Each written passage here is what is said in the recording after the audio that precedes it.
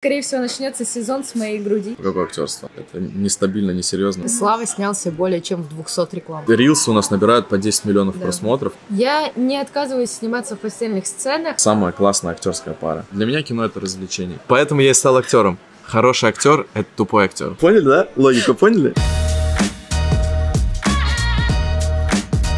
Славка, Настюшка, очаровательные, прекрасные, воздушные актеры, блогеры, тиктокеры Вячеслав Морозов и Анастасия Немченко.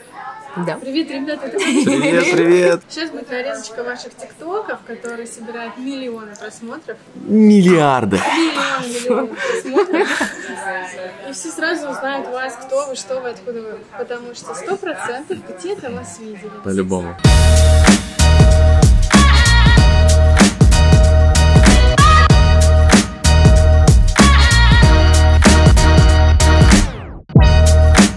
Давайте тогда вначале поговорим про тиктоки Рилса. У вас они в основном парные. Все началось э, с ТикТока. Я выкладывал Да. один в ТикТок. э, какие-то ролики, они начали заходить про рекламы, то, что я снимался во многих рекламах. И это фишка моего ТикТока стала, что меня подписчики там знают как тот чувак, который во всех рекламах. Да. Вот. э, Это такая фишка, которая сработала. А, к сожалению, в Рилсах, в Инстаграме не получалось так сделать. Ну, не заходили эти видео, которые я снимал. И как раз, когда появились плюс-минус Рилсы в Инсте, они начали тоже сильно развиваться. И появилась Настя. И ты, и ты предложил ей... А он ходил такой грустный, не заходят рилсы, тикток хорошо работает. Я думаю, так, надо что-то придумать. И мы тогда сняли первое видео. Была такая идея, я тоже Да. увидел. Там просто парень лежит в кровати и, и Да. написано типа а, типы просыпания людей. Там, Да. Кто там встал будильник и скинул его, кто там услышал будильник, сразу встал, как робот ушел. И вот как бы варианты, как люди Да. встают там с кровати. Мы просто по приколу, давай запиши меня, мы записали. И в моем пустом, по сути, инстаграме э, конкретно этот рилс дал хороший отклик для моего инстаграма, там на 200% э, выросли там просмотры относительно того, что было там минимальных. И мы И поняли, что это как-то, я да. предложила снимать вообще типы чего-то. И вот я предложила снять типы отношений. Слава сказал, ну нет, это такая банальная тема. Да, Она не показалось. зайдет, это уже все снимали. Я такая... И мы сняли, он хорошо залетел. Потом Настя так и предлагает, а давай. Она интересуется астрологическими разборами, натальными Мгм. картами очень давно, ей это интересно. Она говорит, а давай про гороскоп такой снимем. Я говорю, ну, Настя, как это свежо, так ново, про гороскопы. Никто это, наверное, до нас не делал, да? Конечно, давай. Я говорю, нет, я говорю, полный бред собачий вообще, мы не будем это снимать. Ну да, он так Полная сказал, чушь. типа, мы не будем это снимать, Типа это вообще не мой контент, это Да. не про меня. Да, ну, просто two days later. Мы снимаем про гороскопы. Да, я все-таки послушал, послушался, и мы с- придумали снимать типа отношения по гороскопам. Да. Но у нас фишка, и такого никто не делает ни в Инстаграме, ни в ТикТоке, это наша авторская фишка, что мы разгоняем как актерские этюды каждой совместимости. То есть смысл в том, почему видео-то набирают. Я после всего этого анализировал и осознал, почему. Потому что Настя очень точно разбирает, и мы вот этот смысл переносим в этюде каждой э, Совместимости. совместимости. И поэтому мы передаем суть актерским способом, и это интересно, свежо смотреть. Ну и про гороскопы даже там не будем юлить, даже я до, до этого никогда не интересовался, но если мне попадался там э, видос про козерогов, я такой, «М-м», типа смотрел, ну типа не интересуюсь. И так все люди, типа неинтересно, но чисто просто про себя посмотрю. И это прикольно смотреть, поэтому они так заходят. Больше тебе скажу, Настя тратит около двух часов перед тем, как мы Да. начнем записывать, она просто текстом разбирает каждую совместимость. А, и Да, потом мы уже начинаем снимать, и мы придумаем актерский этюд, как это прикольно обыграть. Ну, Мы это делаем, потому что нам это нравится. Да. Это прикольно. Вот. И вообще я сторонник того, что в жизни надо заниматься только тем, чем нравишься. И я не делаю то, что мне не нравится. Например, я там ну, раньше работал в офисе и в моменте просто уволился и начал заниматься актерством, потому что я понял, что сидеть не на своем месте это совсем не то. Вот, пока нам прикольно, мы это делаем, снимаем ну, каждый день. Прям, ну, это Да, как мы каждый работа, день снимаем. но такая веселая. Так, вам платят на этой работе? Реклама. Сейчас Просмотры. начинает расти Инстаграм, приходят рекламодатели, которым это интересно. Да, и мы А Инстаграм монетизируем. же закрыли. Нет. Смотрите, Инстаграм, да, Россия как бы заблокировала, но мы используем VPN. Здесь могла быть реклама VPN. Нет, конечно, нет. Что дает миллион просмотров? Вот ваш Reels или ТикТок набрал миллион. Какие плюшки? Подписчики, Ну да, а подписчики это разви- развивает твой личный бренд, соответственно, твоя медийность прокачивается. Чем больше подписчиков, тем ты дороже стоишь. Чтобы отрекламировать что-то или у себя, например, в блоге. Так как мы актеры, мы становимся более медийными, и если нас берут в какой-то там проект, кино, сериал или рекламу ту же на, на телек, например, то мы уже дороже стоим. И это плюс э, при кастинге, потому что продюсеры очень часто смотрят на количество подписчиков, на медийность человека. Да. Мне уже из ТикТока, из Инсты прилетала работа. э, Я снимался на проекте, был ведущим одного другого проекта образовательного, и, и меня нашли, и они мне сказали потом, что, говорит, мы просто подписаны на твой TikTok, ты прикольный чувак, э, решили тебя пригласить поработать. А нету обратной стороны медали, что вас не приглашают, потому что вы такие очень уже достаточно заметные, вас уже много кто где видел. Да ну нет. вот э, в этом и была проблема именно вот э, с рекламами С в рекламами, ТикТоке, да. потому что я очень много в рекламе снимался как ноунейм, как бы, и поэтому я себе такую фишку придумал, потому что когда ты неизвестным актером снимаешься много в рекламе, тебя реально перестают брать в какие-то сериалы, кино, зная, что ты, а, типа ты в рекламе. Одно дело Нагиев, который уже с именем, и он в рекламе, потому что он Нагиев, и его знают как Нагиева. А другое дело, когда ты просто проходишь кастинг и подходишь по типажу во многие рекламы, и тебя в моменте заюзали везде, и потом просто перестают брать, просто нет съемок. Я подумал, что с этим надо как бы что-то делать, а не сидеть на месте. И э, решил прокачивать свои социальные сети, потому что это стопудово приведет тебя к заработку. Меня на канале есть еще одно видео с профессиональным актером Александром Макаршиным. Его можно посмотреть вот здесь, либо по ссылке в описании под этим видео. У Саши и Славы есть своя школа актерского мастерства «Лев». И прошлой осенью мне посчастливилось бывать у них на мастер-классе здесь, на Кипре. Если вы подписаны на мои соцсети, вы наверняка помните, как долго и как много я восхищалась вообще этим мероприятием, как долго меня не отпускало, потому что это был совершенно уникальный experience. Меня вот как будто так встряхнули, показали, как много во мне энергии, потенциала и как сильно мне хочется проявляться и реально быть собой. У ребят на мастер-классе царила какая-то волшебная атмосфера творчества, созидания, свободы. А суть актерского мастерства, она заключается в том, что не изображать кого-то, не играть кого-то. Суть актерского мастерства заключается в том, что ты себя ведешь естественно, согласно этим предлагаемым обстоятельствам. А когда эти обстоятельства в нашей жизни меняются едва ли не чаще, чем в кино, мне кажется, нам есть чему поучиться у этих ребят. И я ужасно рада, что Саша, Слава и школа актерского мастерства Лев возвращаются на Кипр со своим полноценным пятинедельным курсом раскрепощения. Между прочим, не только для взрослых, но и для детей. Так что, если вы хотите быть свободней, увереннее в себе, справиться со своими блоками, научиться управлять эмоциями, то обязательно приходите на этот курс. Я уверена, вам понравится. Ознакомиться с полной программой курса можно по ссылке в описании под этим видео. А по промокоду «Проехали» скидка 10% на любой тариф курса. Друзья, переходите по ссылке, записывайтесь на курс, высвобождайте свою энергию и живите полноценной, гармоничной жизнью. Увидимся на курсе. Слава снялся более чем в 200 рекламах. М, Ну да, где-то где в Да. этом. плане. Есть Очень Да. много, очень много. Ну-ка так, бренды. Но я никому это не говорю, особенно режиссерам. Особенно, да, режиссер, если вы смотрите сейчас, просто промотайте на минуточку вперед. Ну, какие, какие, какие? Вот любой скажи. МТС, Было. Макдональдс. Было, Сбербанк. было, Альфа-банк. было, Связной. было. Да, Да, я тебе Яндекс. могу показать. Яндекс. Раз пять, наверное. Яндекс доставка, там Яндекс еда. Кто больше всех платит? Там все зависит от прав, типа твой съемочный день сколько это стоит. Есть права, например, ролик пойдет в интернет, ролик пойдет на ТВ, и на какое время, типа год, полгода, три года. Больше всего платят фарма, фармакологические какие-то Мгм, препараты, ну, таблетки от горла, там, от простуды, Мгм. все вот такое. У них, во-первых, большое распространение, и они достаточно много платят. Максимальный был твой гонорар за съемку рекламы? Около 350. 350 тысяч? В рублях. Сколько было съемочных дней? Один. Один день. Вот этот съемочный день в рекламе, это как вишенка на торте. Да. Это награда за то, что ты прошел все, что было до. Первое. Ты идешь на кастинг, где 500 человек, такие Мгм. же, как и ты. Ты приходишь, стоит оператор, кастинг-директор, камера, так же, как и здесь. Э, Ты встаешь, записываешь видеовизитку, где ты говоришь основную информацию о себе. Фамилия, имя, возраст, рост, что заканчивал, где учился. И эмоции иногда просят показать. Покажи эмоции. А какие, какие ты хочешь? А ты можешь заплакать? Да, могу. Серьезно? Ну, если надо, да. Покажи Ну, злость. и- злость? Да. А такое, знаешь, пренебрежение, типа, что это она вырядилась? Вот, и бывает, мы записываем эту визитку, и потом есть какое-то задание. Задание примерно такое же, которое вы видите в рекламе. Мы просто отыгрываем без всех декораций, декораций актеров просто на камеру тот текст или ту ситуацию, которая будет в самой рекламе.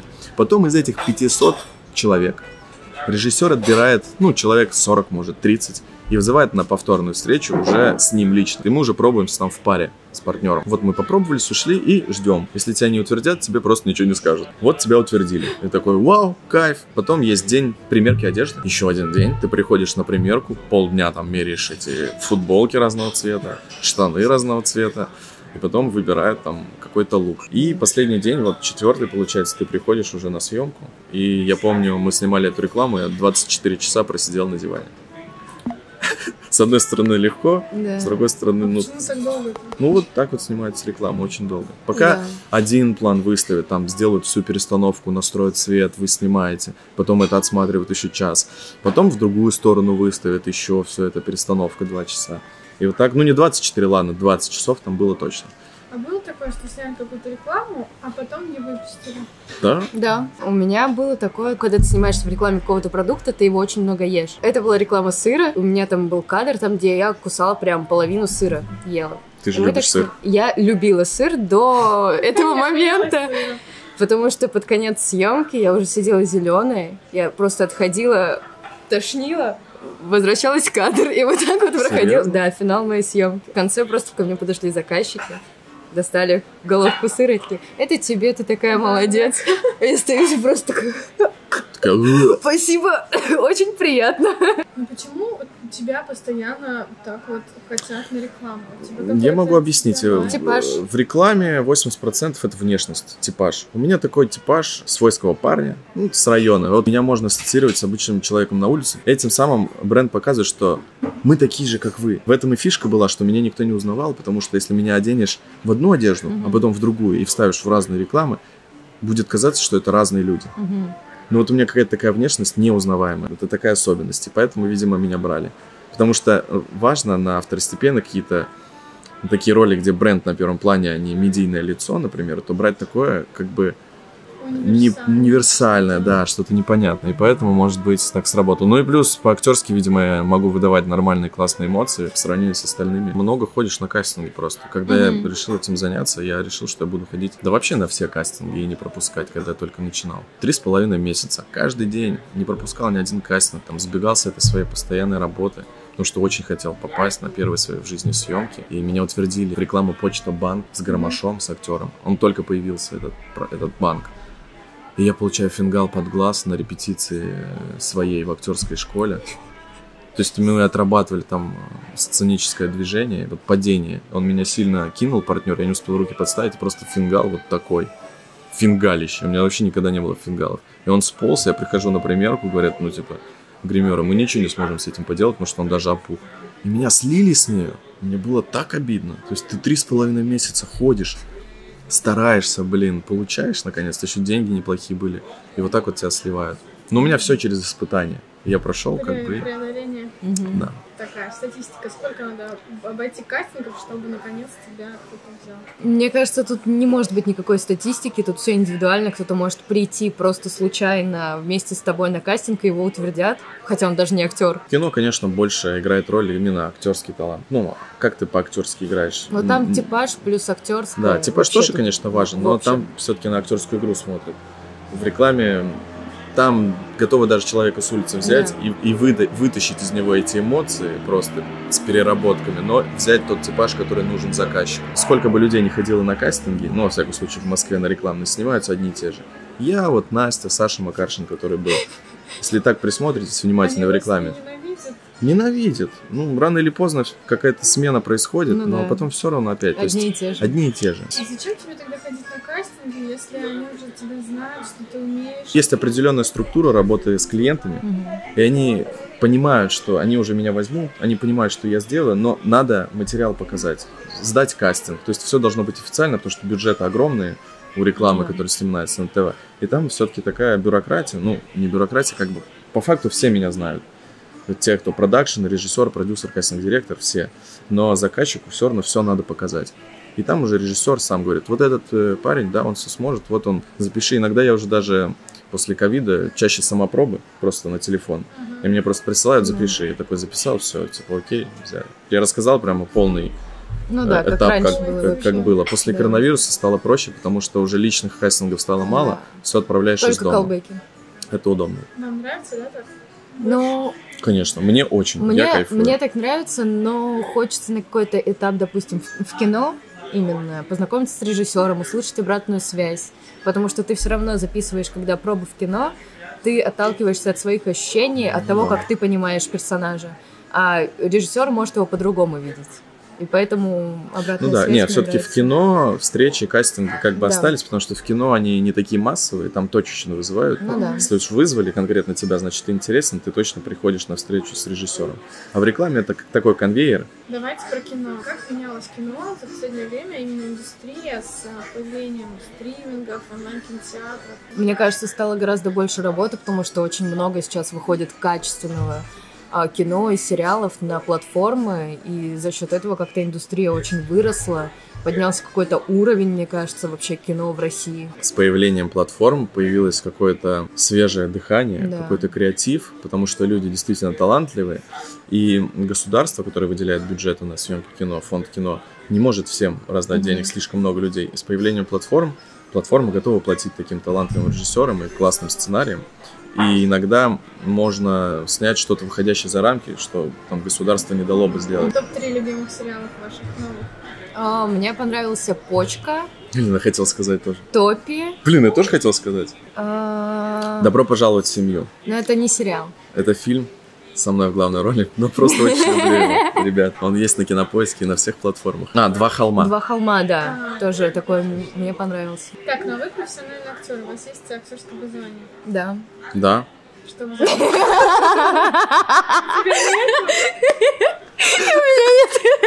Ну, Настя, ты училась Ну, я училась, да, но я не доучилась, я ушла. Я училась на платном. Мне обещали каждый год перевести меня на бюджет. Мне просто уже не хватало бюджета, мне не хватало денег и сил, чтобы это все зарабатывать.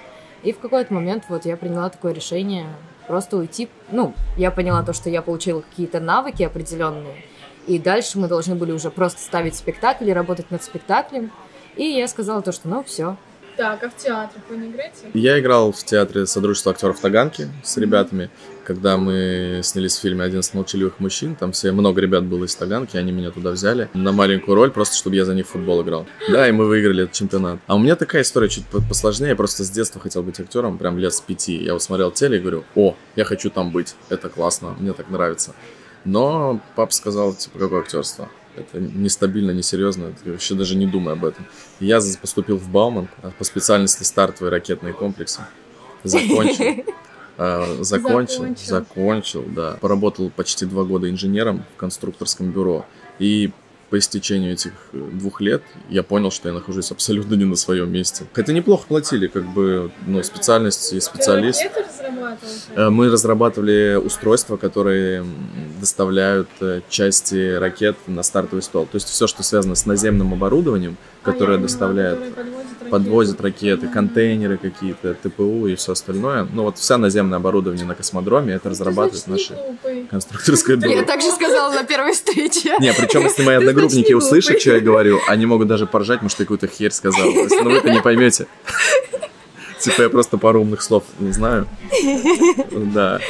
И потом я все-таки понял, что надо идти к мечте, а денег, чтобы еще в театральном учиться еще 4 года, ну, это слишком долго, и у меня не было столько денег. Я закончил актерскую школу почти год, занял денег у друзей, потом начал сниматься, я раздал все долги, понял, что вот, вот это моя такая направление, все-таки, да, это то, что мне нравится, да, я попробовал свою мечту, ну, прийти, может, это и не мое, я просто мечтал об этом. Оказалось, да, это мое, и я просто ушел с работы. И причем я еще так уволился, как дебил. Ну, то есть я решил, чтобы уж точно не возвращаться в эту сферу, сделать так. Меня утвердили в проект в Турцию, мне надо было уехать на месяц. Я подумал, ну, чтобы вообще концы обрезать, чтобы даже не было повода как-то туда вернуться, если денег не будет, чтобы меня даже не взяли. Я улетел в Турцию, и из Турции звоню начальнику и говорю, знаете, я сегодня не выйду, вообще никогда не выйду. Я репетировал эту речь в своей голове. Я думал, он, это будет так круто. Он мне скажет, ты Андрей, что, дебил, ты что ли? дебил? Ты мог просто написать бумажку, отпроситься на месяц. Я говорю, я знаю. Я Всего. прописал сценарий в своей голове, в реальности. Да, причем начальник молодой, он абсолютно нормально, ну, то есть вообще адекватный, нормальный мужик. И он уже видел меня, что я снимаюсь. Говорит, ну, короче, разбирайся сам, как хочешь, с отделом кадров, как приедешь. А ты всегда хотел стать актером, и все таки иди, только денег нет. Ну, да, примерно так и было. Мне мама говорила, иди в медицинский. И я отшучивалась, и все, и дальше шла по своим актерским делам. М. Просто поехала потом поступать в Москву. Ну, я поехала на первое поступление в тайне от родителей в Москву. Но потом, через несколько дней, понятное дело, я осталась у сестры в Москве. Она уже тогда жила, это был максимально глупый план. Она позвонила, да, она у меня все. Проходила все поступления, все этапы поступления, тоже такие адские, выматывающие. И вот поступила, и все. Кино развивается, платформа открывается, проектов много. Что-то поменялось за последний год? Ну, когда все случилось, конечно, все остановилось, все стало непонятно, но я смотрю по, как бы по пабликам и по своим там э, кастингам, что очень много проектов прямо сейчас запускается в России. То есть для платформ, по моим ощущениям, все запускается. Вот опять продолжилось, Ну. как чуть ли не в прежнем формате. Но очень много запусков. Много запусков, но, по крайней мере, за этот год я читала несколько сценариев, я ходила на пробы в полные метры и в сериалы, и тот формат, то направление, которое сейчас идет в кино, я понимаю, почему оно идет, но мне оно просто не сильно симпатизирует. Там просто сценарии, да, концепты стали более религиозные. У вас были мысли уехать? Во-первых, мы планировали и так поехать попутешествовать, так все совпало. Но и мне вот и открылись глаза, ну как бы после 21 сентября я уже сам почувствовал, как бы, что вот конкретно тебя касается. Да и как бы я давно хотел позимовать где-то еще. Потому что из Москвы сложно уехать, потому что там постоянная гонка, кастинги, кастинги. Ну, тут такое, такое дело. Ну, что говорить, но мне вообще не нравится. Мне нравится в Москве. Я люблю Москву. Просто мы вот чуть дольше задержались в отпуске. Но я пока не представляю, как можно на совсем уехать за счет того, что в Москве очень развита индустрия кино, и на таком уровне, как она развита там, это только Лондон, э, в Лондоне мне Европа, понравилось. но там такая сумасшедшая конкуренция, и кому мы нужны со своим русским акцентом э, играть шлюха бандитов только. Я вот недавно пробовался, пробовал сейчас в индийское кино. Ну на, да. на русского бандита. Ну какой русский бандит? типа? Seriously? What, what, what did you say about my mother? I wanna kill you. Right now. Right now. Кажется, я, конечно, на русского бандита не подойду, но попробоваться стоит, потому Ну что да. я могу понравиться режиссеру, он меня может еще на что-то позвать. Но я не знаю, мне очень нравится в Москве, и моя такая философия, и вообще, как я хотел бы в идеале существовать, Например, жить в Москве, э, писать самопробы и сниматься хоть по всему миру. Я так работал в Турции, я так работал в Южной Африке полтора года, ой, полтора месяца жил. Я ездил в Европу на съемки. И это круто, потому что бывают проекты, когда ты из России пишешь пробы, и тебя просто ты летишь туда, базироваться Ну в да. Москве. На Кипре вот мы тоже встали в актерское агентство. Тоже какая-то реклама приходила. Мгм. Вот. Вы туда пришли, сказали привет. Да? Не, а я, я в Фейсбуке с ними списался, Ага. предложил себя, говорю, Мгм. вот. И у меня еще есть три актера с собой. И мы все, все всей туда приехали, да. Записали визитки. Но я посмотрел по сайту, в целом неплохо снимают Ну да, рекламу, снимают нормально. как на уровне. Конечно, меньше по количеству, чем в Москве. Много ли вы зарабатываете на своих тиктоках относительно съемок в рекламе, кино? Нет? Ну, пока это только начинает э, Да. расходиться, потому что ТикТок особо дохода не приносил. Хоть там и у меня почти 700 тысяч подписчиков. Да. Да. А как вот эти 15-летние тиктокеры на, Росло- на Роллс-Ройсах? Откуда у них Ну смотри, как бы в каждой нише, в каждой профессии есть люди, кто успешный, много? Есть люди, как бы, те, кто ездит на Роллс-Ройсах, это там, ну, грубо говоря. И, во-первых, многие их берут в аренду и делают видео, фото своей счастливой жизни. Я открою вам секрет всех блогеров. Да, да, да, да. Они говорят, что купили, они просто берут в аренду. Делают фотки, чтобы Но у все думали. есть. Ну, конечно, Ну, у некоторых есть, есть, безусловно. конечно. А есть, знаешь, у кого? У тех, кто с самого начала. Вот сейчас в топе там Милохин, там Валя Карнавал, они начали снимать, как только появился ТикТок. Они самые первые. И поэтому, с- кто был с самого начала, они больше всех сделали себе подписчиков и стали топами в этой нише. И как бы это 1% из 99, кто существует. Ну, а как вы смотрите на вот новую молодежь, современном, которые все хотят быть тиктокерами. Я, честно говоря, вообще ничего против не имею. Ну вот эти да. кривляния на камеру для детей особенно, это все-таки их развивает. Не, Вот. ну на самом деле они очень развиты в плане там мимики, им прикольно. Мы же тоже в детстве снимали там какие-то клипы на старые такие Конечно, телефоны, конечно. еще что-то.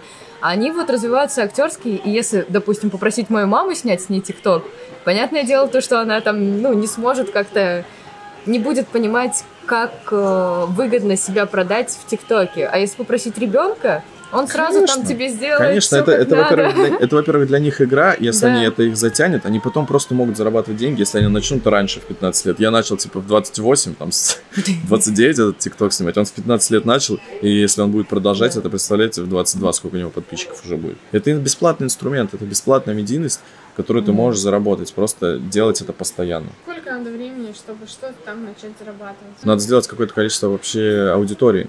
Я думаю, полгода надо на это работать. Каждый день снимать видосы.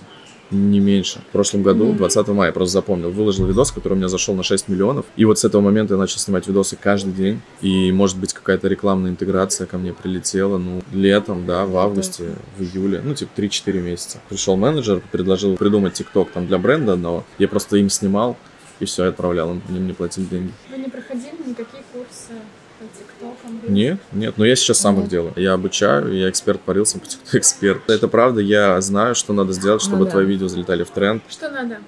Давай. Приходите на мой курс. Смотрите, первое, постоянство. Надо снимать каждый день. Второе, качество видео. Надо снимать, стараться на вот эту камеру, потому что это все-таки лучше качество, чем фронталка. Хороший свет обязательно. Самое простое, просто встаньте у окна, если у вас нет там софтбоксов, там осветительных приборов, просто днем у окна снимайте, чтобы было хорошо видно ваше лицо. Динамический монтаж.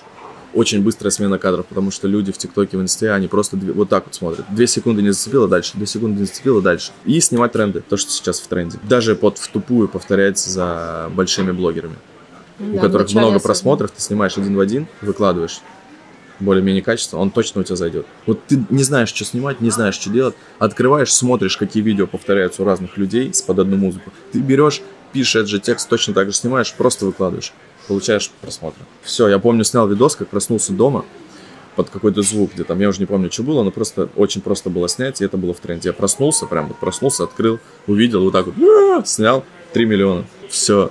ТикТок это максимально тупое, тупое вещество, я не знаю, как это сказать, и как это работает. Ты бывает, запариваешься над видео, там, по два дня оно не заходит, а бывает, что снимешь за 3 секунды, оно бенч. Но мне нравится, я как бы к этому шел. Финальная точка моя сниматься в кино и в сериалах в главных ролях, во всяком случае в России. Я хочу сделать себе имя в России и потом уже думать о какой-то международной карьере. Для меня ближайшая цель сделать себе имя в России, стать самым лучшим актером в России. И тиктоки легко тебя туда могут привести. Да, и тиктоки делают мою медийность, да. Конечно. Это такой инструмент, чтобы мне туда попасть. И мне прикольно, действительно, не буду скрывать, мне нравится внимание к своей персоне, мне нравится, что меня дети узнают. Тебя узнают на Да, я был как-то в. Артеке. Вот летом нас Да. пригласили в Артек, в лагерь, представить фильм «11 молчаливых мужчин» про футболистов. И я как зашел в этот лагерь, там очень много детей, и они все мои подписчики. Они знают меня все. Я- Просто ко мне очередь стояла, чтобы сфоткаться. У меня Да. такого не было. Я охренел. Как будто бы Джастин Бибер какой-то приехал в Артек. Просто меня не отпускали, куда бы я ни заходил, везде. Ну, ты с кем-нибудь там снял? Да, мы что-то, кстати, по-моему, что-то снимали где-то. Да. Очень много детей, и я прям почувствовал себя такой суперстар. А на Кипре кто-нибудь узнавал уже? Да, узнавали Да. на мастер-классе. Мы Да. проводили мастер-классы актерские для детишек, и дети были мои подписчики. Мы с ними сняли ТикТок, да. Я их выложил, я их выложил к себе в ТикТок. Так, Настя, у тебя какая цель? Ну, я хочу просто сниматься в кино, мне нравится киноиндустрия, мне нравится больше всего перевоплощаться, нравится куда-то вживаться в образ. Мне нравится к себе внимание, но не такого большого формата, как Славе, допустим. Вот Слава прям кайфует. И Мы когда были там на красной что дорожке, Скорпион. прям смотрел на него вот так вот. Думаю, Да. боже мой, он прям на своем месте, он Да, ходил, кайф. там расцветал такой цветочек просто. А я как бы, мне нравится немножко так со стороны. Мне нравится сделать какой-то про- продукт творчества. И вот я больше, более закрытый в этом плане Но человек. у нас такие разные образы, и Ну, мне ты это не нравится. завидуешь Славе, что он Это- более Да нет, у нас же как бы одна Нет, машина. нет. Просто я понимаю, что ей нравится, она понимает, что мне нравится. Да. У нас вообще разные подходы, и к актерству тоже. Я, я больше технический, я то есть Вообще, бац, включил да. эмоцию, что-то сделал, я такой технический. А Настя, она все проживает. И она более для кино, ну то есть она прямо создана. Она, посмотрите ее, вот просто в любое кино у нее очень яркий типаж. Она может там принцессу, ну исторический типаж у нее. Она прям вот э, Ну да, какая-то ее и- Аристократичная. Ее постоянно у нас в комментариях пишут, это же как из очень А, странных очень дел. странные дела, да, А, да. Макс. Макс из очень странных дел. Настя такая, она не любит прямо публичность, когда вокруг много людей, но ей нравится именно в кино, и когда Ну ее да. кино посмотрит много людей, от этого Да, она получит да. больше наслаждения и кайфа. А я получаю наслаждение просто от всего, где меня все узнают, где меня все знают, и такое. Да, вот сразу чики-чики-чики. Типа да. В этом, мне кажется, классно. Если бы у нас было это одинаково, было бы, может быть, сложнее. Ну да. То есть я люблю... Да. А тут как бы... И мне нравится, что вот э, я прихожу, и как я себя в голове представлял, мы такие вдвоем идем, нас все фоткают, там такая пара, и чтобы нас знали все как пару. Типа самая классная актерская пара. Расскажите, где вы познакомились? У меня было тяжелое там расставание после прошлых И у отношений. меня. Да, и у Насти тоже. Я просто гулял, тусил, как бы. И потом в моменте мне стало скучно, я хотел с кем-то погулять, что-то потусить пойти. Я просто открываю сторис. гулял, тусил, мне стало скучно, я захотела Ну да, да, ну как бы гулял, тусил это в общем промежуток Ну, времени. Плакал дома. А вот это конкретный период времени, вечер. Вечер, ничего не происходит, я решил погулять и Не, это была уже ночь. Открываю Инстаграм, 11. листаю сторис, блин, кого из девчонок позвать? Вот типа, ну смотрю, он попадается Настя, говорю, а мы как бы были знакомы, Мгм. потому что я знал его, ну, типа, общаюсь с предыдущим ее там парнем, и я его знал. И мы были, типа, знакомы с ним. Да не, не лучший друг, да мы с ним и сейчас общаемся, то ну есть ничего такого как бы, у нас все было официально, мы разошлись, и я его, ну, типа, Мгм. это.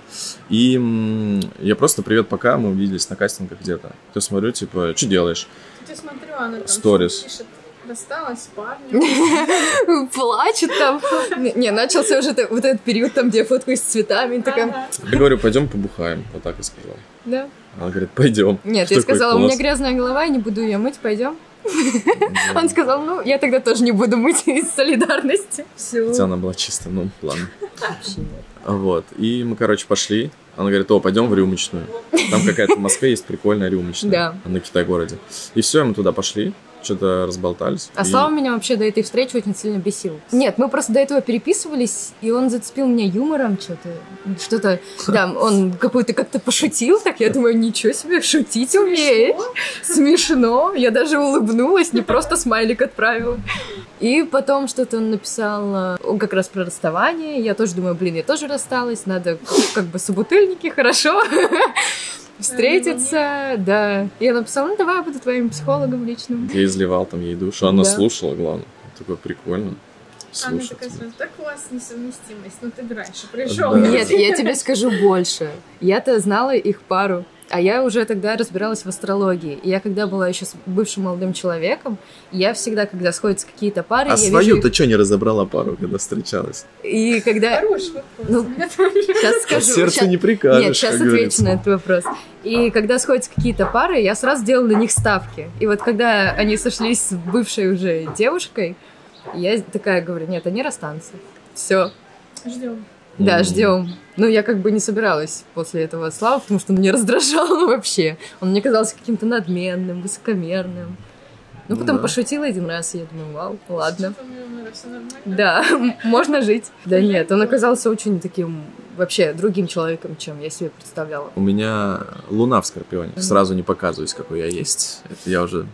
Меня Настя. просто еще пугают парни, которые в Инстаграм постят все фотки там, где они вот так улыбаются. Это он? Это он. Я когда только познакомилась, если ты пролистнешь там на, на апрель 21-го, то там у быть. него подряд где-то фоток 6. Ну, может Я быть. думаю, господи, маньяк какой-то. Не, ну, э, я уже снимался тогда, и благодаря этой улыбке, как бы, меня тоже утверждали. Ну, типа такая, Ну, знаешь, понятно, да. Почему актеры так часто встречаются с актерами? Блин, я очень хотела не встречаться с актером. Почему? Ну, потому что... Мне кажется, на одной волне. Ну, встречаются, потому что на одной волне, и вряд ли кто-то поймет еще эту профессию. Допустим, если я пойду и скажу инженеру, мужчине, то, что у меня сегодня постельная сцена, Ну, но он может немножко не понять, мне кажется. Хотя тоже Скоро выйдет у тебя проект «Содержанки», да? Да, ну, Где Настя? Где Настя там Постельных сцен? в постельных сценах Там там? Ну, я не Да. знаю, спросите. Ну, там, скорее всего, начнется сезон с моей груди. Значит, сезон пойдет. Хорошо. Надо сказать, что она часто отказывалась так сниматься, но в содержанках согласилась, потому Да. что неплохой проект. И режиссер твоя вообще. Да, режиссер э, Ламара, прекрасный режиссер. Мы с ней начинали, можно сказать, почти вместе, потому что когда мы с ней познакомились, это был где-то год 19 и она еще тогда не вышла на какой-то уровень, а тол- только собирала какое-то портфолио, она снимала уже тогда круто. И я тогда ушла из института и тоже начинала что-то делать. Мгм. И очень круто, я ей очень благодарна, потому что она в каждый проект берет там меня. Хотя я каждый раз думаю, боже мой, как ее не подвести. Я каждый раз так переживаю. Я не отказываюсь сниматься в постельных сценах там, где хороший проект. Ну, допустим, в России на Первом канале э, или в каких-то таких э, сериалах по 500 серий я ну, я бы не хотела сниматься в белье или в э, голой, потому что я знаю, как там будет снято. Я знаю то, что там другой подход к телу и другой подход к визуальному всему этому отношению. Я знала то, что Ламара, она ну, не допустит снять как-то неэстетично, чтобы это было. Потому что я ей доверяю. Ну, У тебя были Так. еще до этого Да, у меня до этого был э, проект, в котором у меня вообще тогда не было съемок, ничего не было, и меня пригласили дублером постельных сцен. А там девочка снималась моя знакомая в этом проекте. Макс из странных дел, да? Ну да, Макс из странных дел. Она просто ей 16 лет, и ей нельзя было, да. И поэтому они искали девочку, а у нас одинаковый типаж в целом, но я просто повзрослее и одинаковый цвет волос. Ну, Со спины не И веснушки, ну да. Так ты, Вот. по-моему, кучу дней там просидела, а сняли тебя один раз. Да, такое было то, что я даже поехала туда в Тверь. Я просто там посидела, поела шашлыка, еще что-то поделала и уехала Ну, обратно в какие-то бывают задержки на съемочной площадке, Ну да. какую-то сцену не успевают снять, а актера привезли, ну, уже оплатили. Да. Ну, мы перенесли смену, еще одна добавилась. Что твои родители говорят теперь? А, у меня мама, она всегда была не против, на самом деле. Против был папа. Он вообще категорически не принимал нестабильность. Там, если бы я пошел в космонавты, он был бы рад. А я с, с образованием мог пойти. Я больше скажу, я даже записывался в космонавты. Но, к сожалению, это не мое. Да, а, кстати, Юля, Юля Пересиль слетала в А, космос. ну да. И она актриса. А. Да. И я бы полетел тоже как актер. А как просто космонавт, мне это не интересно. Мама была как бы в целом не против. Она даже сама, у нее есть такие задатки в целом. Артистически, да, это точно. Папа прям такой у меня закалки, ну как бы несерьезно, ничего не это самое. Ну, когда уже из-под влияния я вышел, уже повзрослел, закончил там университет, я как бы все-таки уже... Я понял, что я решаю, что я хочу. Пошел учиться, и он, конечно, скептически к этому относился. Когда я ему рассказывал, пап, смотри, а я там вот там, а я там вот там, он такой, да-да, ну как бы никаких эмоций по этому поводу не проявлял. Но случился момент, я все-таки уже часто начал мелькать, и когда ему, его друзья, все окружение начало говорить, а мы-то твоего сына видели, а Славка-то в клипе Федерик Феллини сейчас там по полмиллиарда просмотров, типа все под вашу песню зажигаем, а в фильме его вот видели, и он такой, уже как-то Да, такой, да. уже гордиться начал Осень. уже понял, что он не верил, что с этого можно зарабатывать. Я Мгм. говорю, я сам как бы живу на эти деньги, зарабатываю. Да. И он же такой, ну типа, уже проще к этому начал относиться. Потом его позвал на премьеру фильма «Фетровый роман». А, кстати, в YouTube есть, можете посмотреть. Это такая военная история. Эм, очень классный там о памяти предков, что надо не забывать всех и все остальное. Очень действительно клевый фильм. Сходил на премьеру. И я думал, ну он вообще не очень, на самом деле, русские фильмы тоже любит. Ну так, я не подумал бы. И он после фильма мне такой говорит, блин, мне очень понравилось. Я такой, прям, аж как-то слеза так подступила, но я не показал вида. типа. Но я прям был рад. И потом я его еще позвал на фильм «11 молчаливых мужчин» про футболистов. Ну, там он супер масштабный, естественно, ка- качественно, круто снят. Он говорит, тоже классно. И последний фильм «Добро пожаловать в семью», он вообще кайфанул с этой комедии. Ну, то есть все, он типа уже принял это и гордится. Ну, он никогда это не показывает, там не проявляет, ну просто такой человек. Но он всегда через маму передает. Типа, твой сыночек-то опять там. И мама мне вот типа говорит, вот такая у него система. Ну вот, в итоге все принял, все классно. Не, у меня у мамы самый главный вопрос всегда после любых съемок. А тебе заплатили хотя бы? Родители до сих пор, до сих пор спрашивают, ну у тебя работа есть, все нормально? И папа, мама, а что, а деньги, а работа есть? Вот мама постоянно. Я говорю, мама, не спрашивай меня Да, про это. А еще, так она, же. а еще она обычно спрашивает в тот момент, когда реально нет работы. Ну такой, да мама, блин, да как ты, она чувствует, что ли? Да. У вас а, часто бывает бывают вот эти моменты нестабильности, непоняток? Но у меня всегда зимой наступает такой момент, особенно вот после Нового года, где-то по середину февраля, из-за того, что там какие-то праздники идут, там вообще нет съемок. Да, да, бывает нестабильность часто. Но поэтому, чтобы ее не было, мы прокачиваем свои социальные Ну да. сети. Чтобы заработок был всегда с рекламы, если нет съемок. В этом моя цель, и это точно сработает. Там в кино или в рекламу тебя могут утвердить или не утвердить. А когда у тебя растут подписчики, у тебя точно будет, за- будет заработок. И чем, и чем больше подписчиков, тем больше заработок. Тут карьерный рост как бы не ограничен. В этом как бы моя логика. И поэтому это сейчас уже начинает помогать. Я так скажу, Инстаграм круче монетизируется, чем ТикТок. То есть у меня с Инстаграма там 35 тысяч сейчас подписчиков. Но очень активно растет, очень активно, очень да, мы- быстро. Мы, выложили первое видео в конце августа. Да. То есть рилсы у нас набирают по 10 миллионов Да. просмотров, охваты за последнюю неделю у меня 40 миллионов охватов Да. видео в И рилсах. мы, получается, за три с половиной месяца Славе сделали 33 тысячи подписчиков или сколько? Да, да. Но очень Да. тяжело, Было конечно, они 5 тысяч набираются. подписчиков. Да, очень тяжело набираются, но они Но, как бы да. очень круто работают. Потому что Инстаграм, площадка монетизируется классно. А ТикТок послабее. ТикТок на медийность больше работает. Поэтому мы вот задержались чуть, чуть дольше, чем мы планировали там, на Кипре. Потому например. что, да, есть возможность хотя бы. Да. Нравится вам Кипр? да, я был здесь. Да. Я был здесь 9 лет назад. 9 лет. 9 лет назад, да, студентом еще. 9 Русских лет много. назад я получила паспорт. Тут дело в том, У что... вас огромная разница. Ну, не огромная. Ну, большая. Ну, мне вот завтра будет 24, Славе 37 Один или Один. 31 лет, да. 7 лет. лет. Но просто эти 7 лет вообще не ощущается, мне кажется, Слава Ощущается, моложе, чем седых я. волос наибольше появилось. А, ну седые кошмар волосы, да. А так, вообще, Слава, мне кажется, моложе, чем я, потому что я иногда могу такая ходить суперсерьезно, он такой... У вас не было идеи сделать один аккаунт на двоих и туда выкладывать своих парней? Ну, мы не настолько ванильная парочка, Ну что да, это быть, уже перебор, по-моему. вдвоем в одном аккаунте. Это вообще too much, too much. Это уже слишком. Нет. Пусть она тоже свой прокачивает. Настя тоже э, подписывайтесь на Настю, Ну да. Потому что к ней тоже подписываются люди. Всё. Мы же мы же делаем рилс э, с авторстве, Ну и да. мы равноценные два автора. По- Поэтому у нее такие же охваты, как и у меня, по сути. Но иногда вот, допустим, даже мы снимались платьями, а, там где-то щит, щит, Да.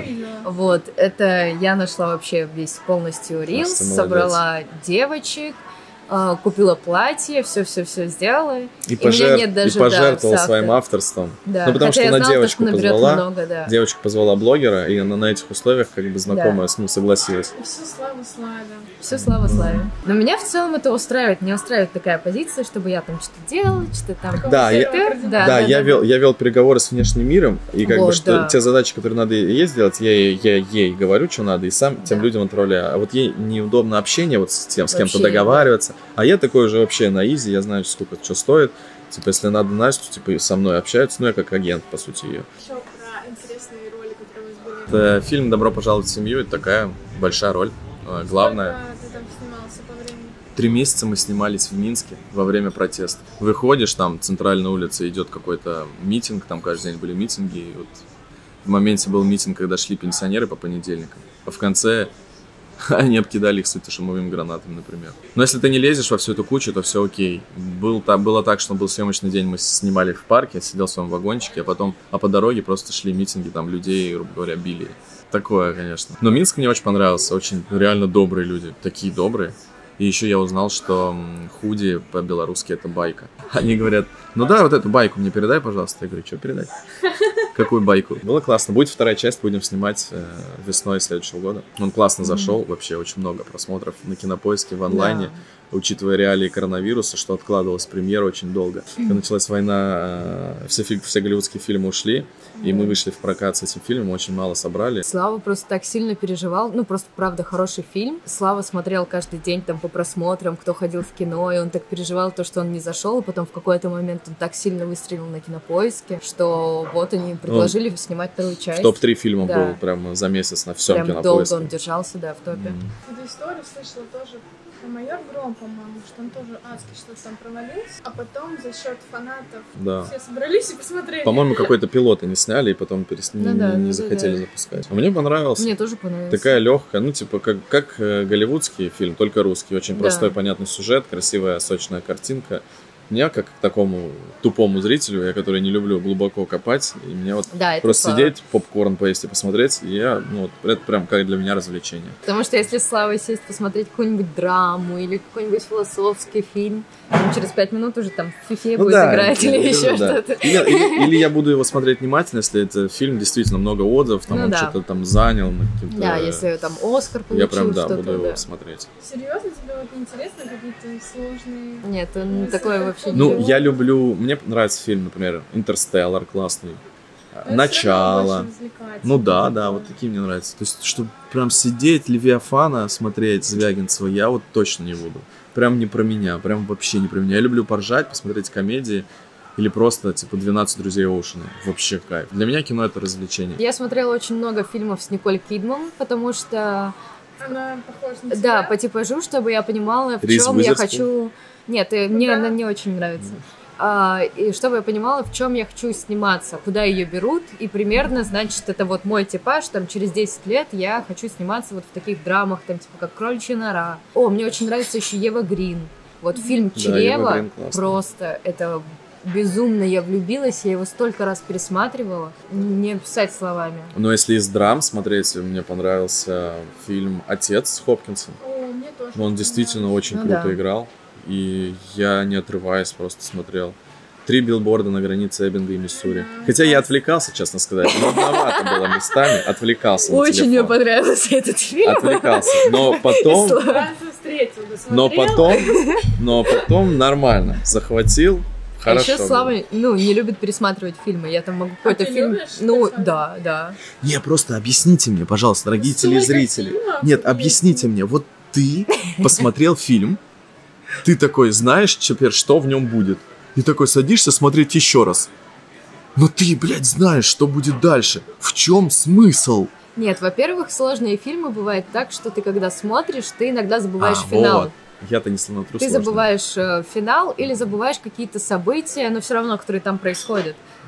И ты вроде помнишь о чем там, но ты не помнишь, почему он тебя так зацепил. Ты помнишь название или что-то. Ну да.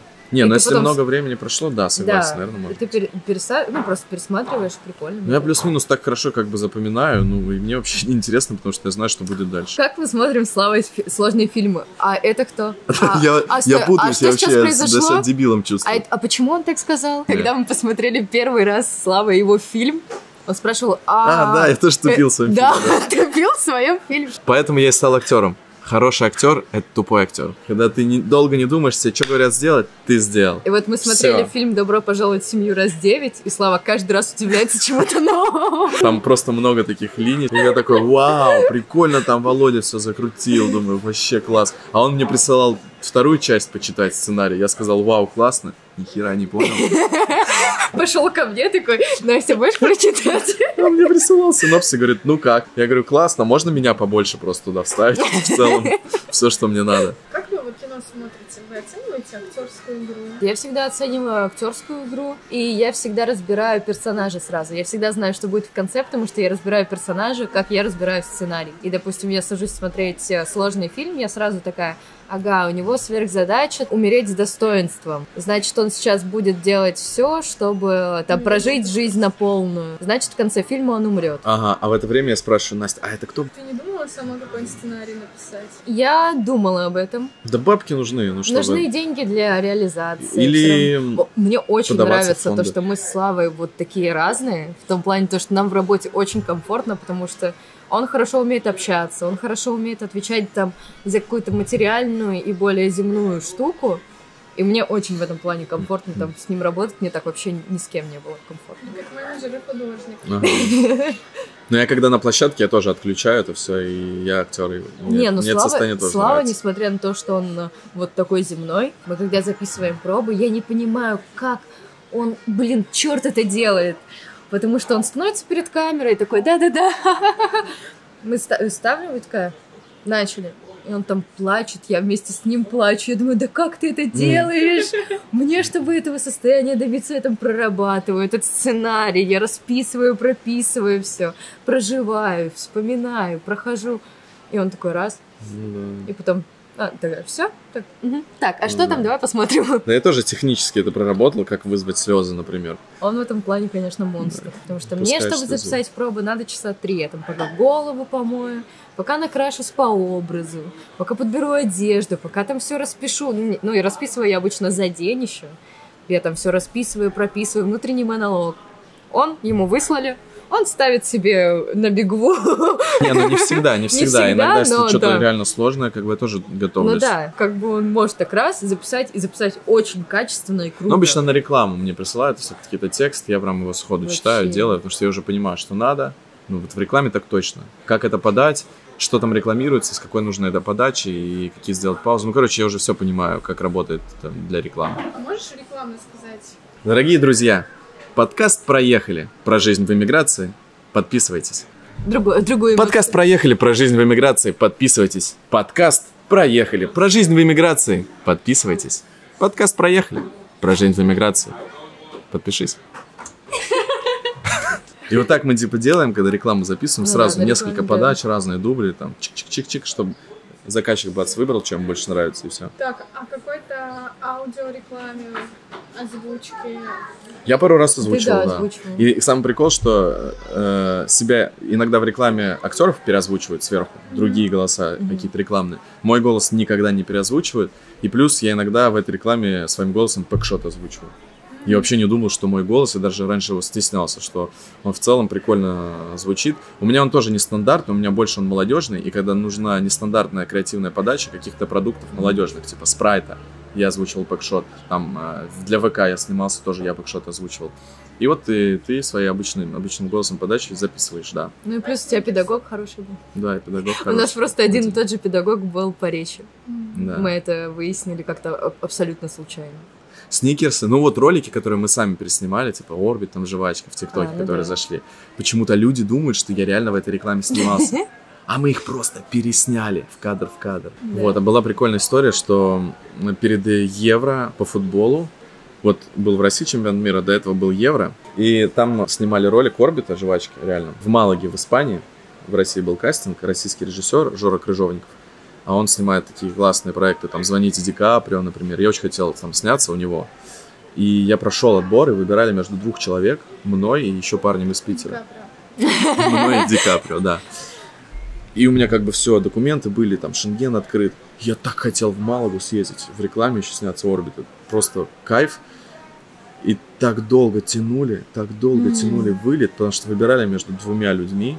Можете там загуглить этот ролик, но он есть там Орбит Евро 2018, 16, Евро 2016. Короче, Короче, тебя не выбрали. на таксиста, да, и меня не выбрали в самый последний момент. Я подумал, ну ладно, я сам сниму свой ролик Орбит. И Так фиг с вами. Ну, типа того, да. Да, я просто очень хотел с Жорой Крыжовником познакомиться, потому что он снимает проекты, в которых я бы был уместен, например, я считаю. В комедиях, в ситкомах, ТНТшных и все такое. И он очень хотел меня, именно режиссер хотел меня утвердить.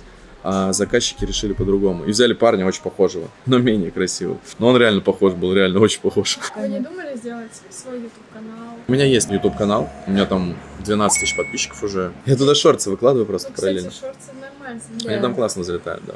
Я туда просто параллели, пусть пока растет. Каждый день мое утро начинается с того, что я выкладываю во все свои социальные сети рилсы. Я выкладываю в инсту, в рилс, в тикток, в лайки. Есть детская соцсеть такая, лайки. У меня там 120 тысяч подписчиков, по-моему. Потом я выкладываю э, в Facebook рилсы. Потом выкладываю в ВК клипы.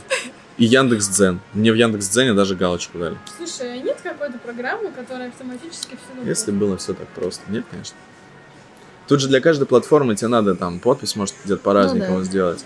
Ты Э, не думал себе нанять какого-нибудь маленького менеджера для этих? Маленького карманного такого человека. О, привет, Надя. Нас с вами ножками потыка здесь выложишь. Для режиссеров кино рекламы важно, чтобы было образование актерское? Они где-то это спрашивают? Кто-то спрашивает, но это скорее, чтобы отсеять э, Совсем, Совсем совсем, кассу, совсем, то да, людей, которые будут не в кассу. Ну, многим важно, да. Но если многим важно, я говорю, я в ГИК закончил. И что, и как ты проверишь? Спрашивают диплом. Нет, Нет. нет, диплом вообще ни разу не Нет. Да. образование? Нет, диплом а, нужен для актера, если он хочет играть в театре. Конечно. Если ты хочешь играть в театре, то ты приносишь туда корочку, она там у тебя лежит, Да. пылится, и ты играешь в театре. Просто меня бесит тот факт, что, например, кастинг-директора могут возомнить себя там богами, что они главные, и они здесь выбирают, они режиссер, и могут тебя не Да. позвать из-за того, что ты там закончил какие-то курсы. Да. А Вот. И они иногда себе высокого мнения слишком устраивают платные мастер-классы, тренинги с бедных актеров и так, которые не снимаются, берут деньги, потому что к ним идут актеры, думая, что они с ними познакомятся и будут у них сниматься. А обычно снимаются у них не те, кто ходит к ним на мастер-классы. Да. К сожалению, открою вам большой секрет. Не надо туда ходить. Один раз можно сходить, основную информацию узнать. Вот я один раз там был, когда я только начал. Вот когда только начал, сходить один раз, за один раз тебе расскажут все. Тебе рассказывают, как, как Ну, работает... просто, да, ты когда еще не в теме, ты не понимаешь, что как, она тебе просто расскажет. Ну да. Механику, что как Хотя так же работает. ты можешь спросить у любого друга Но каждый актера. раз ходить и вот эти мнимые прокачивать там себя, знакомство с кастинг-директором, меня это просто выбешивает. Да. Поэтому я сейчас развиваю свои сети, становлюсь звездой, и потом мне эти кастинг-директора сами будут писать, чтобы... Потому что знаешь, сколько натерпелся вот этого отношения Да. к себе, как к ни, к ни к чему вообще. Меня это очень бесит, потому что актеры для них просто разменная какая-то. Ну, не ты, так другой. Вообще насрать. Вот как я начинал, как А. ведут себя кастинг-директора. Ты, например, приходишь в кастинг, смотришь, ну, ты подходишь, там, 25-35 возраст, приходишь, и выходит э, кастинг-директор и говорит, ну, ты не подходишь. Я ехал час к вам, отстоял час в очереди, зашел к тебе в этот самый кабинет, и ты мне говоришь, я не подхожу, запиши, покажи меня. Я знаю, что я подхожу, потому что я уже в этой теме. И я стою, я уговариваю ее, сними, ну типа я потратил время, покажи меня. Ладно. И иногда она может снять и, скорее всего, не показать. Она же Ну сама да. делает монтаж. Но, допустим, вот был момент конкретный, я просто рассказываю не, не с нуля, потому что был, она говорит, я тебе не покажу. Я говорю, покажи. Ну, типа, уговорил. Она сняла, но, видимо, все-таки показала. И меня вызвали, представляете, и утвердили. Это что получается? Ты вообще не шаришь, да? И после этого она мне уже перестала что-то рассылать, знаешь. Вот надо с режиссерами знакомиться, с продюсерами, а не с Да. кастинг-директорами. Вот это. Идти кто? И сами себя прокачивайте, а не ходите и с, с поднятой ручкой и кастинг-директору возьмите меня. Не, у Славы в жизни была крутая киношная история, такую можно снять в Голливуде, или уже снимали много раз. А, ну, Когда Слава пришел, и ему кастинг-директор сказал, то, что ну, ты никогда не будешь сниматься в кино. это кастинг-директор. И следующий кадр Я даже- Слава я на даже- красной дорожке. Я даже не боюсь назвать, это Юля Марина, кастинг-директор, очень известная, который делает кастинги на Т-34, Холоп, по-моему, она делала. Ну, на большие проекты Ну да, прокатные в нашей стране. Такая монополист, вот у нее есть связи с режиссерами, и они ее зовут. Как я только начал актерскую карьеру, меня взял агент и начал звать прямо на главной роли. И я уже, знаете, про себя такой почувствовал, вот он.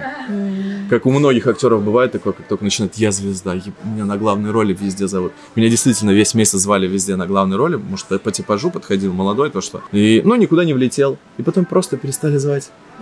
И так ты ощущаешь и понимаешь, как работает актерская жизнь. Вот когда ты только влетел, и тебя пытаются пощупать, посмотреть, кто ты. А я вообще без опыта. Я только начал учиться. Я, конечно, плохо еще вообще ощущаю играю. И она мне сказала, хочешь, честно скажу? Ну, за это я на самом деле ей благодарен. Она сказала, как есть. Ты неорганичный, какой-то непластичный. Я вообще не понимаю, зачем ты решил этим заняться. Вот так она мне сказала. Ну ладно, это испытание. Я это пройду. И потом она некоторые рекламы еще вела и помнила меня. У меня даже какой-то э, рядом с ней зажим был, знаешь. Я такой встаю, она такая, да расслабься, что ты такое. Хотя я миллион раз уже эти кастинги с рекламной проходил. Но я просто целеустремленный, и я как бы понимал, что бы вы мне ни сказали, я все равно бы делал свое дело, потому что это мое, пред- ну, как бы я чувствую, что это мое. И как бы Юля Марина недавно меня репостнула, когда наши рилсы начали Да, да. Там он миллион собрал, она такая, А да. я что, не взяла? Да. Но она как бы и так не возьмет. И она, мне кажется, меня позовет, только когда вот уже режиссер приведет за ручку или продюсер скажет, вот его надо. Да. Все, он уже медийный, у него аудитория огромная. Просто надо, потому что он принесет нам кассу. Вот так это работает продюсерское кино. Ну да. Тебя будут брать, потому что ты принесешь кассу. Ну, при прочих рав- равных, там, актерской способности, как ты на роль подходишь, возьмут тебя, потому что у тебя есть аудитория. Продюсеры с этого Да. заработают, потому что твой проект посмотрит больше людей. Почему Даню Милохина берут? Но он очень классный парень, он очень харизматичный Да. и достаточно Он очень органично очень смотрится. крутой. Да. Да, я снималась, и у Баскова вместе с ним какой-то был хит. Мы вместе снимались, и он постоянно, он очень открытый, он постоянно, у него такой Ну, с другой стороны, кокаин энергии. тоже такое дело, знаете. Еще раз, э, не рекомендуем, э, это все очень плохо, наркотики зло, не это шутка. Такой энерджайзер, потому что он постоянно раз, о, давайте это снимем, о, давай так, а давайте так, а, о, пойдем, пойдем с тобой снимем что-нибудь. И вот Ну он постоянно... Ну, ну, молодой. Да, Да. Когда я только начинал, да и вообще на протяжении актерской карьеры, ты все равно смотришь, у кого-то круче получается, и ты можешь завидовать. Вот это чувство надо вообще убирать, отключать. И нам мастер классную вещь сказал, мудрую, что надо заражаться талантом. Кто Да. там более талантливый, более круче, где-то успешный, надо заражаться его талантом, а не завидовать. согласна. Это классно. И вот Что, я этим... работает? Да, да. Прям никогда. Бывает, я вообще никогда бывает не мысли. завидовала. Я завидовал. Я вообще... Я, я всегда смотрю только на тех, кто, типа, успешнее меня и стремлюсь к этому. И, ну, типа, я иногда думаю, да блин, да почему у него так, типа, он просто там какой-то один, там, грубо говоря, видосик, ну, типа, и зашло сильно. Но сейчас уж такого нет, потому что в целом у меня все хорошо двигается. И я доволен тем, как все идет. Но бывают такие мысли, что поделать. Но я еще раз вспоминаю то, что говорил мастер, и что надо заражаться талантом. И поэтому там, к Дане Милохин, там еще кому-то, у меня нет абсолютно зависти, реально талантливые чувачки, которые достойны то, что они имеют. Кроме Вали Карнал. Ну, когда ты с сиськой и жопой снимаешь, это все печально очень. Мне кажется, я никогда не завидовала, потому что я как-то даже и не обращала внимания на других людей. И чтоб ты не снял совместный тикток с Валей. Сняла бы. Валя Карнавал мне нравится как минимум, потому что она скорпион. Но если какой-то скетч прикольный, то, может, снял бы. Вот и все. Да не, конечно, снял бы, что я буду юлить. Конечно, снял бы, блин, у него много подписчиков. Но бывает, Просто не что нравится. актерское образование мешает. Нет, мне ни разу не мешало. наоборот, помогает. Я ехал со съемочной площадки в такси. Мы снимались, я играл там футболиста, мы всю ночь там бегали по полю, снимались, и я был, у меня был рюкзак, там футбольная форма, красные глаза, потому что в 7 утра, и мы снимались там 12 часов, и реально уставший. Везет меня таксист, останавливает полиция, а, светит меня фонариком, а что глаза красные? А ну-ка выйдите-ка, ну-ка проверим вас все.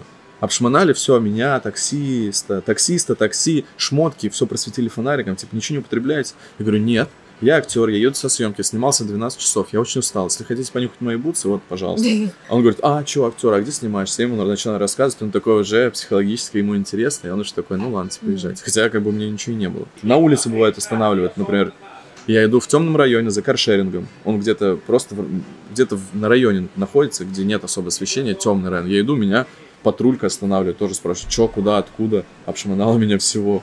Я говорю, я спортсмен, я не употребляю. Они говорят, да-да, все вы спортсмены. Ну, типа, знаешь, может, он подумал, я за закладкой какой-нибудь там, и где-то иду, вот, а я иду за каршерингом.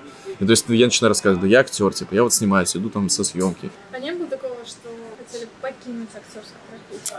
Нет. Нет, это так не классно, было. так Да. затягивает это.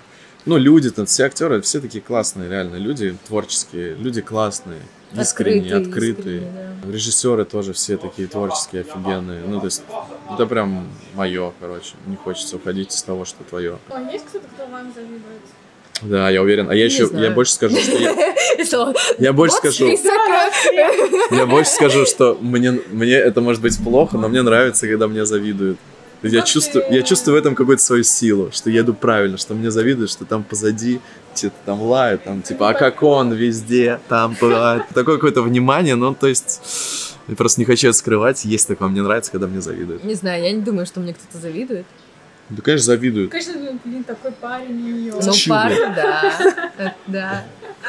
Урвала сладкий кусочек. Так, но бывает, что вы ссоритесь? Не прям скандалы, но как бы мы разговаривали. Второй год, когда- когда пошел в отношениях, уже бывают Уже, какие-то ну, и конечно, потому что вы притираетесь. Уже и вы- голос появился там у Насти. Такая скорпионая. Не, ну вы-то все равно как бы росли в разных э, средах обитания, вы по-разному привыкли что-то делать, вы по-разному чувствуете. Конечно, у вас будет там в первые годы какие-то притирки, какие-то недопонимания. Ну, мне нравится то, что Слава, он готов идти на разговор, то есть не просто там покричать на друг друга и разойтись и, все, просто поговорить, можно сесть, там, если есть какие-то эмоции, пойти успокоиться, вернуться и так так. Просто прикол в том, что у меня есть такая способность что я умею больную точку в человеке найти и Это уколоть луна в. Скорпионе. Потому что я У делаю любого так человека, же, с кем да. бы я пообщаюсь Да. какое-то время, я могу за что его Да. зацепить, чтобы ему прям, прям вот неприятно будет. Но меня ты еще не цеплял. Зачем ты так делаешь? Ну, потому что, когда меня что-то раздразнит, ну, когда мы с чем-то ссоримся или появляется какой-то конфликт, да, я бываю вредным, и я вот в эти точки бью, чтобы не надо меня, типа, Ну, заебывать. я так же там. делаю. э, Потому что я И скорпион, Настя а так он- тоже да. умеет сделать. И я делаю вид, что меня она как бы не зацепила. И я так же хотя- делаю вид. Хотя я, ну, как бы, я зацепила, но я делаю вид, что нет. И я ее бывает так же. Но по ней сразу видно, что я зацепил, потому что я знаю. Она плохо скрывает, у нее Ну, прям эмоции, все на лице. Слава, он э, тот человек, который может считать меня. Хотя до этого вообще никто не мог считать. Я там, если что-то чувствовала, то вообще никто не говорил там, о, ты расстроилась? Я такая, ну, я расстроилась, но я расстроилась внутри. А тут, если я расстроилась и просто могу вот сидеть с каменным лицом, он такой, ты расстроилась? Я такая, блядь. Да, я считываю, как будто Серьезно, даже простраиваться нельзя в себе. Да, прям все чувствую. А я как-то вот умею скрывать. И вот в общении с людьми это очень классная фишка, что когда кто-то от меня что-то хочет или как-то уколоть, ну, правда, люди бывают разные в общении, Ну да. я никогда этого не показываю, и люди от этого бесятся, что не получается меня уколоть, потому что я не показываю виду никому и никогда. Что мне больно, что мне что-то неприятно сказал. Я все выведу на какую-то сторону, но никогда не покажу. Хотя, может быть, реально неприятно. И люди от этого бесятся. И я понимаю, что я вот в этом конфликте я победил, потому что я его взбесил тем, что он не смог, не показал тем, что уколол. Поняли, да? Логику поняли? Я Поняли? его взбесил тем, что. Да, да, да, да, да. Это самое, кстати, самое лучшее. Ну да. Ну, есть же хейтеры какие-то, бывают у нас что-то там и комментируют. И самое классное — ноль эмоций. Вообще, не реагировать. Ну Никак да. не отвечать. Это самое обидное людям, которые вызывают... Нет, ну, ну, но Слава, немного, Слава поначалу, ему приходит какой-то э, комментарий, он такой, да пошел ты! А, да, пона- поначалу... Я такая, Слав, да не надо это писать. Да, поначалу он какие-то тебе были, нужен?» я думаю, по приколу буду писать, да пошел ты нахуй, вот так вот писал. Или как-то, да, прям матом впрямую просто, пошел нахуй. Потом Славу заблокировали. Наверное, меня заблокировали видос какой-то. Да, и у меня охваты упали. И потом я понял, что это как в меме. Мне пару раз дали пизды, а потом я все понял. Я все понял. Я просто уже не отвечаю. Давайте я вас уколю сейчас. У вас все рилсы, все, но многие парни. Мгм. И что же делать, если вы вдруг расстанетесь? Блин, я не думал об этом. Ну, я тоже об этом не думала. Ну, ничего, наверное. Но я буду продолжить один снимать. Ну, я бы продолжила даже вдвоем снимать. Не, ну Видите? дружить-то можно. И спать можно. Ну, может, и тогда и ТикТок сниму. Ну не, Не не, ну знаю, так конкретно в моем случае я же и до этого один снимал, как бы. Ну То да. есть я все равно буду снимать в А я любом просто случае. не буду снимать, Да. Ну, у нас с Настей получается классный тандем, людям это нравится. Я даже в прямой эфир у себя в аккаунте выхожу, говорят, где Настя? Я говорю, ладно, я пошел из своего аккаунта. Раз вам нужна Настя. Приходит Настя, в два раза увеличивается человек в эфире. Но вы чувствуете свою силу, когда вас двое? Ну, это сильнее. Ну да, точно. это сильнее, это мощнее. Да. И Но после тех сложных отношений, когда я не понимал, что хотел в отношениях, э, начиная отношения с Настей, я как бы на берегу сразу все сказал, что как бы я вижу это, как мне нравится. Я сказала, мне я не нравится. хочу вообще отношений. Ну и когда вы на, на берегу обговорили, ну вроде Ну да. пока эта вся методика работает. То есть у меня нет вот э, как первая какая-то любовь такой привязанности, розовые очки, Ну ты да, моя, все, ты такой, я без тебя я все могу». для тебя, вот эта вот вся жертвенность, Уже когда этого первая давно любовь. нету, да. Мы два самостоятельных взрослых человека, Да. которые живут своей жизнью и хот- хотим прожить своей жизни классно, каждый. Мы Мгм. делаем, если мне сейчас там в чем-то не классно, я говорю, что мне надо сделать, чтобы мне было классно. Да. Если она говорит, то сейчас мне что-то не так классно, я хочу вот так, и тогда мне тоже будет классно. Я пытаюсь сделать, что я могу. Так, Это- а ваша совместимость астрологическая? Я бы поставила сто процентов, но это, но это по эмоциональным. Но если смотреть честно, то сто.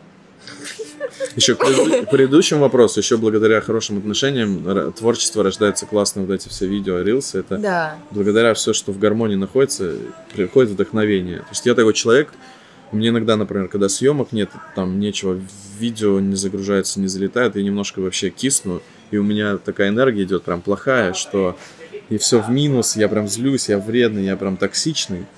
И вот благодаря Насте она выводит из этого, и мы вместе разгоняем, и когда начинаем опять снимать, опять хорошая получается энергия.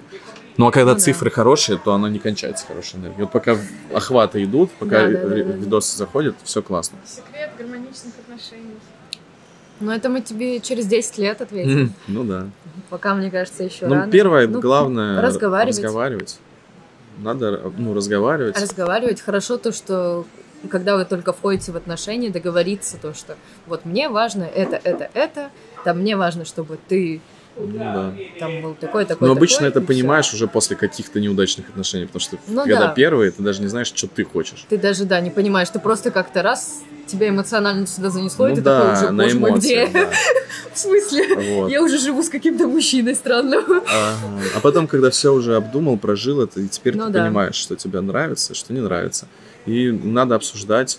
а, Вот. И если что-то не нравится, говорить сразу, а не копить. Потому что Да. когда ты копишь, копишь, это рано или поздно Взрывается, да, и будет Вот. э, Вот, конфликт. ну, а стараться быть взрослым человеком, а не ребенком. С ребенком жить нельзя, Ну да. невозможно. Ну, капризным, типа, вот я девочка, сделай все для меня, потому что я девочка. Так мне работает. Может, в 17, в 17, ну, в, в 17 лет, может, это так работает. Или, или тому партнеру, если тому партнеру, кому это нравится, парню, то тогда да. Не, ну и мне кажется, Главное, то, чтобы что обо- все, все нормально в отношениях, то, что нравится обоим. Обоим, да, все. всё. Можете делать, что хотите, главное, Да. чтобы вам обоим было классно. Типа, если тебе нормально быть папочкой этого ребенка, Да, окей. Окей. Окей, если твоя там психика травма, Ну да, закрывать ее совпала, да. и вы такие, Вообще идеально. Последний совет для начинающих актеров, блогеров, тиктокеров. Как не сдаваться, когда получаешь столько отказов? Мне кажется, дело в том, что тебе это нравится. Ну вот я, допустим, не представляю себя вообще в другой профессии. И я не представляю, как бы я вообще могла отказаться. Я даже не думала о том, чтобы пойти в другую профессию, потому что ты просто это чувствуешь, не знаю, Да. как по-другому. Ну что, я могу сказать, упорство и труд все перетрут. Действительно, э, заниматься только тем, чем нравится. Если вы хотите быть актером, Ну да. не переживайте, что вы не поступили в театральный. Есть очень много актерских школ, например, у нас, вот у Макаршина, там, Мгм. ну, короче. У вас есть актерская Да, я э, у, у- у Саши Макаршина, это основатель актерской А. школы Лев, Да. и у меня... Я думаю, какая у нас актерская школа. У меня в этой актерской школе есть свой курс, там, Ну по да. рилсам, тиктокам и всему остальному. А Саша Макаршин был у меня в подкасте. Можете посмотреть. Обязательно. видео. Да. Поэтому э, не расстраивайтесь, что не поступили в театральный. Это не конец света. Самообразовывайтесь, поступайте, возможно, какие-то актерские курсы, школы. Очень много всего этого есть. И просто пробивайтесь, пробивайтесь, идите до конца, будьте упорными, и рано или поздно э, упорство вознаградится. Когда ты идешь по творческому какому-то пути, и тебе иногда очень тяжело признать себе то, что это не твое. Бывает да. такой момент, то, что ты уже как бы, ну, всем рассказала, ну вот я хочу стать актрисой, я всем уже рассказала, все сделала, и как бы добиваюсь, добиваюсь, в какой-то момент ты как бы начинаешь, наверное, себе врать и продолжать находиться в этой профессии. Очень важно уметь к себе прислушиваться и не бояться там, допустим, ну, признать то, что, ну, мне это уже больше не интересно. Да, слушайте Ну, как себя. бы я уже это все перерос. Я перерос актерскую профессию, надо, хочу дальше. Хочу что-то другое попробовать. Надо, мне кажется, не бояться как-то пробовать, экспериментировать и пытаться находить то, что у тебя отзывается. Я иногда, когда не хочу что-то сделать, я рассказываю об этом всем, и это не случается. Если хотите, чтобы это случилось, никому не рассказывайте. У меня это проблема. Я не могу никому не рассказать. Это Да. просто. Не знаю, как это. У меня пока это не получается. Слушайте, ну когда актер получает отказ за отказом, он же может засомневаться в себе. Ну, это естественный Ну, отбор. это, м, ну да, естественный отбор. я Побеждает сильнейший, и кто упорный, более упорный. Ну, как бы, ну, если ты сомневаешься в себе, ну, значит, увеличивай свои актерские какие-то способности, чтобы обрести уверенность. да. Открою пару секретов про а, актерскую профессию. Если вы хотите стать актером, но пока ничего об этом не знаете, но что-то слышали, вам, да, скажу, что а, 90% отказов 10% работы. Вы должны ходить каждый день, и каждый день, скорее всего, вы будете слышать отказы. Да. Может быть, даже по несколько. Может, рано даже или- критику в Конечно, свой да, адрес. Вы очень много будете получать Да. отказов, но рано или поздно какая-то дверь откроется. И эта дверь может компенсировать все ваши затраты на отказы. Да. Это очень тяжелая такая профессия и нестабильная. Поэтому Мгм. смотрите сами. Это надо заниматься только тем, кто чувствует себе это, кто понимает, что это, это их путь. А можно параллельно заниматься. Кто-то где-то работает и вот Ну подрабатывает актерством. Никто же не мешает. Спасибо вам, ребят. Спасибо, Спасибо. большое. Было классно. Думаю, да. Подкаст проехали. Про жизнь в эмиграции. Подпишись.